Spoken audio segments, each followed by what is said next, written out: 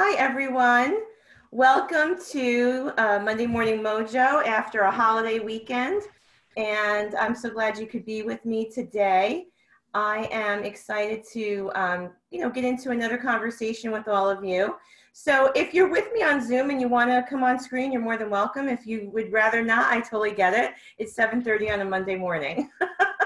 and uh, everyone joining me on Facebook, good morning. I'm really glad you're here. Um, I, I just have so much fun doing this because I enjoy uh, getting into conversations with people that get them thinking. I enjoy being a coach. I enjoy, um, you know, adding value, and you're all adding so much value to my life and each other's.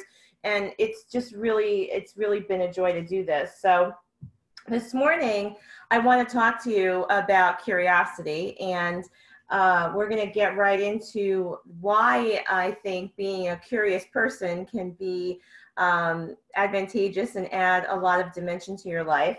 And I think, you know, I've always been a curious person uh, for as long as I can remember. I was that kid that asked a lot of questions. And, uh, you know, I know our parents do the best they can with what they have. Um, you know, sometimes I was like, I was told to stop asking so many questions. And it's unfortunate as parents um, when we try to cut that off. And I think that um, as children, we learn, or we, we haven't learned, uh, the things that can hold us back, right? So as children, we just have an openness and a curiosity. And, and those questions lead to discovery. And so I want to talk to you today about really connecting maybe with your inner child a little bit and really connecting with your ability to stretch your curiosity. Um, and I think that I believe that being curious uh, will put you on the path to lifelong learning. And what I know to be true about lifelong learners uh, is that, well, they're committed to excellence, right? Because they're searching for knowledge. Um, but I know that being a lifelong learner will open you up and, and change your personal perspectives.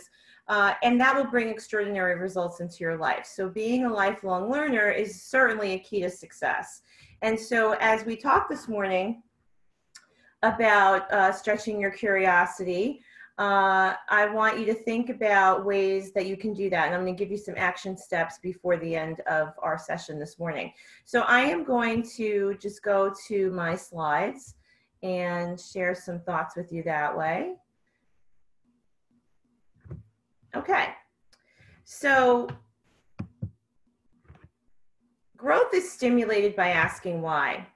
And I think that that is a question that we all need to put into um, our our daily thoughts, right? Asking why, right? So asking why am I doing this? Why aren't I doing this?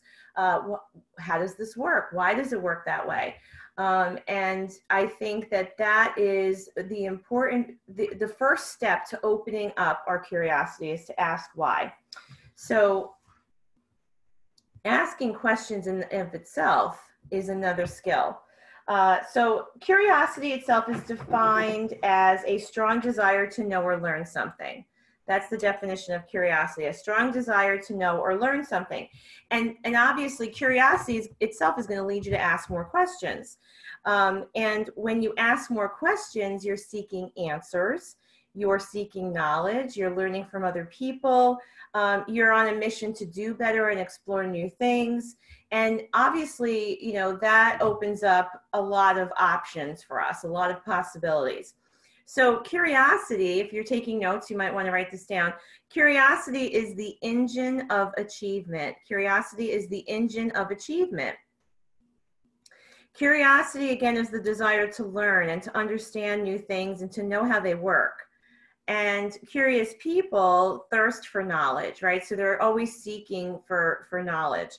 They're interested in life people ideas experiences and they live in a constant state of wanting to learn more. And they're always asking why. So are you someone who finds themselves getting into really great conversations with people and asking them questions about their life and their story. Uh, and this doesn't mean that we uh, sit someone down and grill them. It means that we we become artful, right? Because questions, asking good questions and, and powerful questions is it's a skill set and it's an art form. And we're going to talk a little bit before the end of the call today about ways to improve our ability to ask great questions. So if you're genuinely curious about a subject or curious about people, you're going to be in question mode and you're going to, even in a conversation, be in question mode because you're seeking information. So the mind of a curious person is pretty active. this is probably a good snapshot of my brain on any given moment. Uh, and curious people, they just want to know more and they want to understand. Um, and you know, a good a good uh, quote to write down or, or phrase uh, for us to use even as a mantra is seek first to understand, right? So coming into any situation, coming into any conversation, approaching a project, approaching a new business, uh, approaching any kind of plan that you might have is, is really to start with an open mind and, and be full of curiosity. Because the questions you ask will not only um, create the plan and the strategy around what you're trying to accomplish, it will also help you really excel at what you want to do because you'll continue to ask questions to uncover more information. And so your project can be good or it can become great. And I think that the more curious you are, it leads you to a path of uh, excellence. And I also think that through questioning, you'll determine um, or start to uncover things that maybe you need to be aware of in terms of like a plan B or a contingency. So it just puts you in a better position to decode, to strategize, and to understand. And I think that it also puts you in a better position to just learn new things because it becomes kind of like that domino effect where that one, excuse me, topic or project that you're learning more about really opens up opportunities and other in other things. Um, so not only will it help you to do things better, I think it will help you to do things creatively, which can actually inspire people around you too. So um, curious people, um, another thing that is a, a trait of curious people, when when they do have a misstep or even a failure, um, it doesn't really keep them down for long. Curious people are always in question mode, right? So they're going to seek out knowledge around what just happened, what didn't work out, why didn't it work out, what could I have done differently, uh, how could we have planned that better. So I think that uh, the the another positive thing about exploring how to stretch your curiosity is that you can also become more resilient in the process and you can become more tenacious around pursuing opportunity when you don't fear the failure. So when when you can be inquisitive enough to own that uh, outcome and really accept that responsibility around it it's not a blame thing it's not a fear of failure it's just well let's just ask some more questions around why this didn't work and let's figure out how to make it work better. So i think that is uh, another positive thing around developing your curiosity uh, and curious people tend to be more successful they tend to achieve more because they're always on that that path to asking questions and wanting to do more because they can use the information that they're gaining or be on a journey to learn something new. So being curious is important for really excelling in anything that you want to do. So if you're looking to achieve at a high level, then you know your ability to ask powerful questions is is going to need to be part of the process.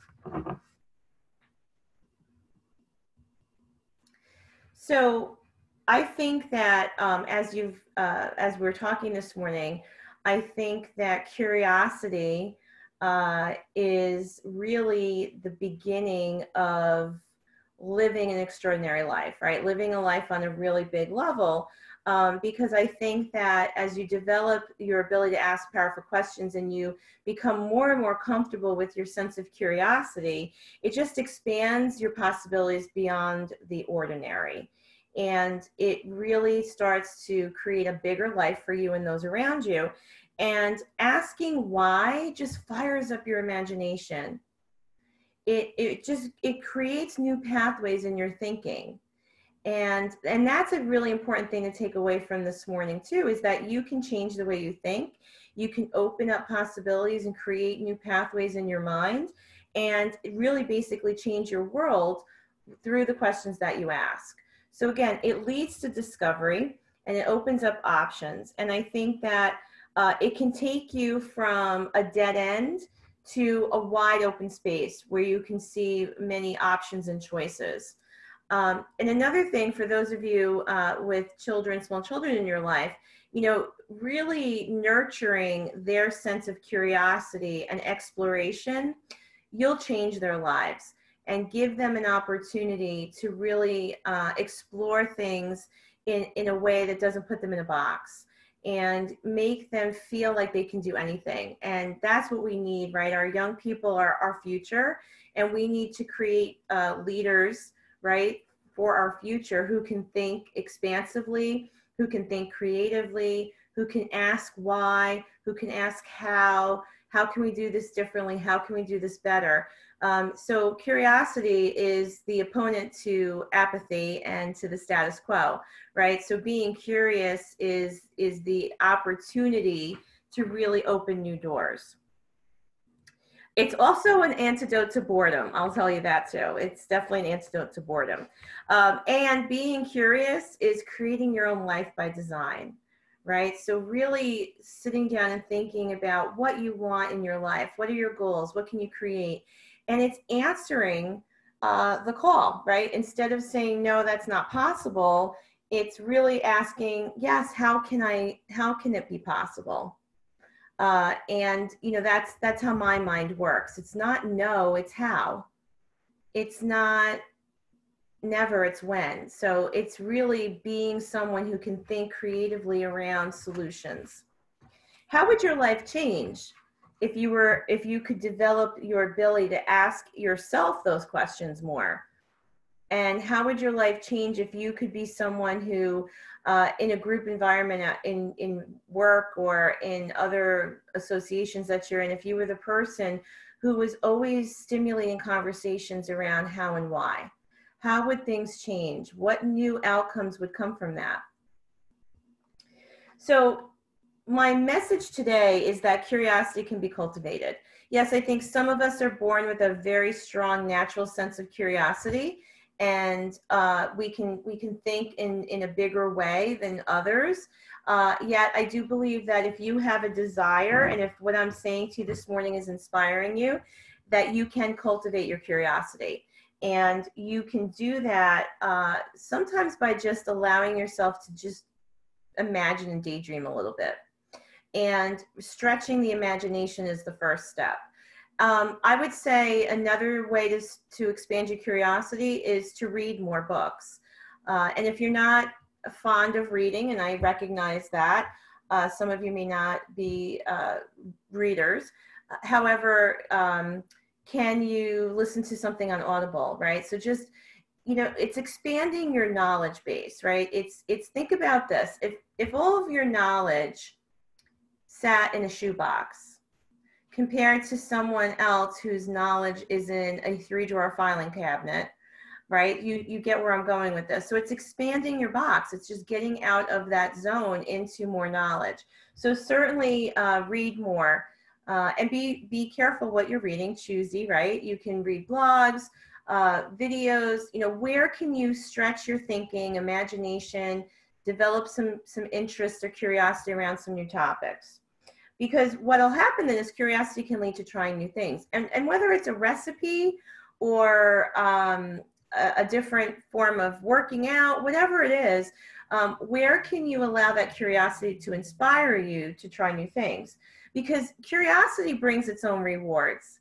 So as you're trying new things and you're experiencing new things you're going to bring new into your world into your life and there's a lot of rewards to to gain from that and I think then you're finding a deeper sense of meaning and purpose. And a lot of what we've been talking about over these last several weeks with Monday Morning Mojo starts to come into play. And you can see that you'll bring a deeper level of significance into some areas of your life too. Another way to expand your uh, curiosity is to think about who you can spend time with, right? Um, and give yourself permission to be curious. So, um, of course, I'm not asking you uh, to remove anyone from your life, but do you have people around you who get you thinking? Do you have enough contact with people where you can get into some great conversations around exploration and around assessing what is going on and how we can do it better. And I'm not saying you get into any kind of political, you know, conflict or or debate unless that's what's driving you, which is, is fine. Uh, but I'm saying, you know, where can we get into conversations um, that really stretch our thinking? So maybe you know someone who up up until recently was a, a someone who traveled a lot uh, what questions do you have around where they've been and why they chose to go there and what they saw and what they learned, uh, what they ate? You know, what what what can you really get into uh, digging into a different topic about with someone that you know? So I think that uh, we just have to be willing to to grow. We have to be willing to expand our thinking and expand our beliefs. You know, growth is not. I mean, look, if, if I have two house plants and I decide to water and nurture only one, eventually the other one dies. So what I'm saying is that growth is not accidental. Even the weeds in your yard need sunlight and some rain occasionally, right? So there's always something that has to stimulate growth. So if you can't assume that you're going to grow over time, you have to be intentional about your growth. And I think the more curious we become, the more we grow. So this this could be a call to action for you there, you know. And if if we've learned anything over these last several months, is that you know life is changing, ever changing, and we can't predict a lot of things that happen in our in our environment. Uh, and some of you may have experienced, you know, that feeling that life is is short. Life is fragile. So you know you're only coming through here once. So what do you want to experience? What do you want to see? What do you want to learn about? What do you want to talk about? So i think that curious people go after and seek after knowledge and they seek after information and they seek after experiences. That that's another thing that curious people do.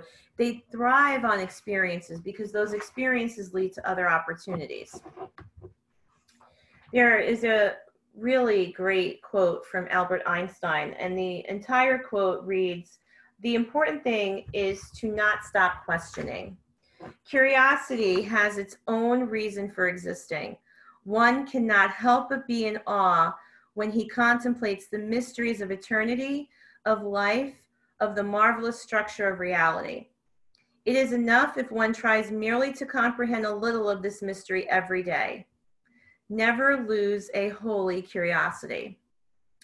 And I think the secret to maintaining that holy curiosity is to just keep asking why and to uh, ask those questions that will stimulate more curiosity and creativity. Um, so, oops, I just missed a slide. Sorry, guys. So, um, again, you know, be determined to awaken some of that curiosity right now. I think at this point in our lives, at this point in this very year, with everything that's happening around us, stretching our thinking and expanding our curiosity brings power back into our lives. What is it that you want to learn? What is it that you want to excel at? What do you want to master? Uh, what do you want to know more about?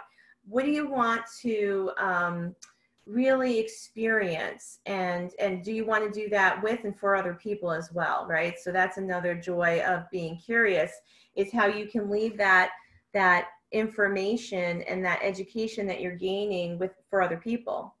So i will say curiosity is a mindset. If you're taking notes i would write that down. Curiosity is a mindset.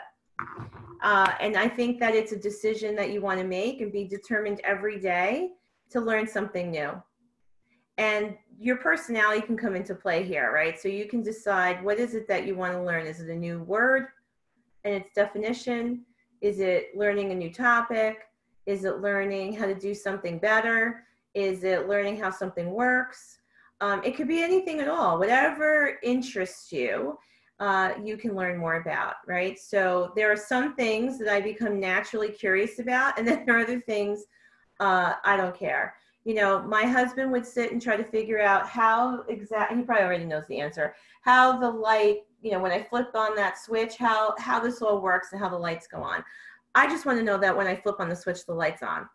But there are other things I'm curious about that he may not be about that curious about. So the key is what interests you? What is exciting for you? What do you want to learn more about? And make time to think about it. Make time to reflect on it and maybe even journal on it. Um, John Maxwell is a, uh, many of you may know him. He is a leadership coach and author. I think he's written almost 80 books. He's certainly a thought leader. And uh, John talks about the, uh, the, the need to set time aside every day to reflect. And whether it's five minutes or an hour, it's time for you to just really kind of think about what went on during your day and what did you learn and, and what's the next step if there is one and what is important to you. And having that reflection time, I think, is so important because if you're going to be on a journey to seek out information and knowledge and expand your curiosity, what good is it to learn new things if you can't put it into action? And if you're constantly moving faster than the speed of light, uh, and not taking the time to put those things into action, um, then you're not going to utilize it. And is it really is it really then a fruitful quest? Right. So I think that we have to be actionable people. And I think that if we're looking to live an extraordinary life, our knowledge has to inspire action. So taking a little time every day to figure out what your action steps are uh, is important. And I know for some of you, this seems a little strange or counterintuitive because I know you'll take time out of your day to do other things. Why not take time out of your day to invest in yourself? So let your curiosity inspire that too. And let your curiosity know no bounds, right? So I, if you're curious about how they built the pyramids in Egypt, that that may inspire a trip there one day. So I think that it should know no bounds. And uh, I think that um, another benefit to expanding your curiosity, besides uh, living a bigger life and um, not being a bored person, not being bored, is that we also don't get burnt out. You know, I think when we are on a loop and we're thinking the same things and we're doing the same things, we can easily get burnt out. But if we are expanding our knowledge base because of our curiosity, there's always something new to learn. There's always something new to think about. There's always something new to explore. So I believe that it really, it gives us a fresh perspective. And I think that it equips us in a way that can prevent some burnout and, and uh, you know, create energy in your life as well. Um, so this Monday Morning Mojo was, you know, something that was born out of some thinking. I was sitting out on my back deck and I was just thinking about, you know, some conversations I had been having with people lately and, and the effects of the COVID pandemic and other things that were going on in our world. And I was thinking, you know, what can I do to make a difference in somebody's life? And that this whole like concept came to me in about seven minutes. So um, that that's what can happen when you start to think about ways uh, that you can expand your your curiosity i think it will also inspire you to take some action. So that's my job now uh, as a coach even though uh, I'm, I'm your coach whether you know it or not right now uh, i want to help you and inspire some actions for you. So as i always say if you want to hang out here and listen and, and if you're watching on facebook or you watch the video later you know when i upload it uh, that's great. And if you want to take what we're talking about to another level, then I'm going to encourage you to do the action steps. And the only part of this that's missing that would normally be a part of coaching with me is the accountability piece, right? Because I'm not always able to follow up with every one of you to find out are you doing your action steps and is it making a difference in your life? So you may want to consider, uh, if you haven't already, ask a friend to do this Monday Morning Mojo with you um, even if it's to watch videos and not actually be on here live at 7.30 on a Monday morning. Um, but maybe you need, you want to have an accountability partner so that when I go through these action steps, you and your partner uh, can work on it and then, you know, ask each other about your progress and what difference it's made in your life. And you can always reach out to me, whether it be through Facebook or uh, many of you, you know, know you can reach me. Uh, you may have my cell number um, and if anybody wants that contact information, I'm happy to give it to you. And if I can help you and you want to talk a little bit about some of these action steps that we go over every week, it would be my pleasure to do that. So here, it, here are some ways that you can really expand your curiosity, and I've mentioned a few of them already. One is choose a topic, right? Something that interests you, and maybe something I'm going to challenge you uh, to think of something that is outside of your comfort zone, right? Because if you if you choose something that's in your wheelhouse already, you you may know enough about it that it's not super inspiring. So choose something outside of your norm, and uh, choose something that uh, you know will inspire you and, and excite you, right? So that you want to research the topic. And obviously, Google is your best friend here in that sense. Uh, you can also read or listen to a book on the topic uh, and, and just get into it and see what you can learn. Then uh, the second way to expand your curiosity is to become better at asking questions. And I said that that was an art and a skill. So you can develop that, uh, and there's a lot of books that um, are on the topic of asking powerful questions. But I will say that your world will change based on the questions you ask. And so you can just get into the habit, if you want to get a journal um, or do it on your iPad or whatever, you can just get into the habit of writing questions every day. If you can write three, three to five questions every single day, um, you'll develop that skill set. And you'll see as you go through each day, your, your questions will get better and better. And, um, it, and, and a lot of people, when I've mentioned this in the past, will say, well, what kind of questions? Any questions. You know, how do you do that? Uh, why is that important to you? Uh, you know, and then you'll see you can get into some other questions like, you know, if you had the ability to meet anyone, who would it be? And what would you talk about? I mean, it can be anything at all. It's just, it's like a muscle. It's just working out the muscle and, and making, um, creating some strength around your ability to ask questions. So I would, I would say that's a good action. And uh, then the third way to expand your curiosity um, is to just put that time on your calendar, that thinking time that we talked about, that reflection time. Start out with 15 minutes. Put 15 minutes, make an appointment with yourself. Literally put it on your calendar and make an appointment with yourself for 15 minutes a day for reflection. What did you do during the day? What did you learn today? What would you like to do differently? Like actually hit pause and step off the ride called life and take 15 minutes and think and see how that will expand your curiosity. I think that, uh, and you could even structure that time more if you um, are doing well in 15 minutes, maybe you're going to stretch it to 30 minutes. And then you can get uh, really specific with that time around a certain topic. I mean, you, you know, whether it's about re- like how can I redecorate my living room, or you know, what's my next career move? It either question is going to change your world somehow, right? So it doesn't have to be the most profound. It can be something simple. It's just getting in the habit of creating curiosity around what can be different in our lives, what can be new, what can be expanded, and and and seeing how that changes changes your world. So I'll post those action steps on the Facebook page, and uh, I will um, put some other resources that I found about um, expanding our curiosity there too.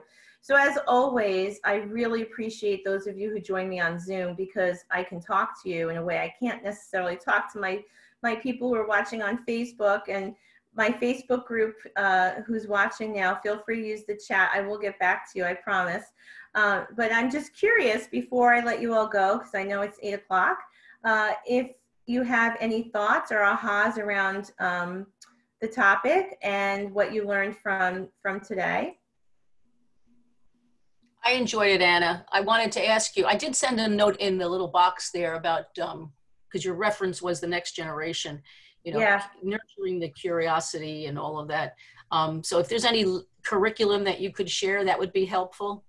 Um, I don't have any curriculum uh, myself because I'm not an educator of of the youth. Uh, you know, I'm not a, a childhood educator, uh, but I would say there must be something out there. But I mean, even if it's just looking in small ways in your own world, um, just ask questions. You know, get get into the habit of asking questions. Um, you know, kids are such such an open book, and I, I wish that I knew now. What, what does this say? I wish what I knew then, what I know now, right? I wish I was that parent then that, that I have that knowledge now. But I mean, just asking kids, what are you thinking, and and you know, what do you dream about, and what would you like to do? Um, I don't know if I don't know if it requires a curriculum as much as it requires adults to be open-minded and inspired to really connect with kids and and learn from them as much as we think we're teaching them. Uh, that that would be, you know, where I would start. Yeah, the old days it used to be called values clarification, and we used to have gatherings okay. with the kids getting together and kind of talking on topics. Uh, the other is with being a curious type, it's pretty easy to be overwhelmed and um, and if your tendency is ADD, forget it. you sure. know, um, so when when you have, I know you reference somebody in terms of literature that writes on some topics. Is there something you can post that would also address the um, the mindset as well as being careful not to be so overwhelmed that you really um, blow a fuse?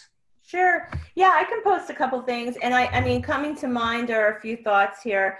Um, so I referenced John Maxwell, and, and he's got a lot of um, material. And um, I think in his book, um, The 15 Laws of Irrefutable Growth, I think it's called, it's on my shelf. Yeah. I'll post that too. Oh, um, he talks about curiosity in that book. He talks about curiosity a lot because it's, like I said, it's a basis for being a learning base which is a foundation for really, you know, being a high achiever. Um, and I think another resource that comes to mind is the one I spoke about last week, which is the book called The One Thing.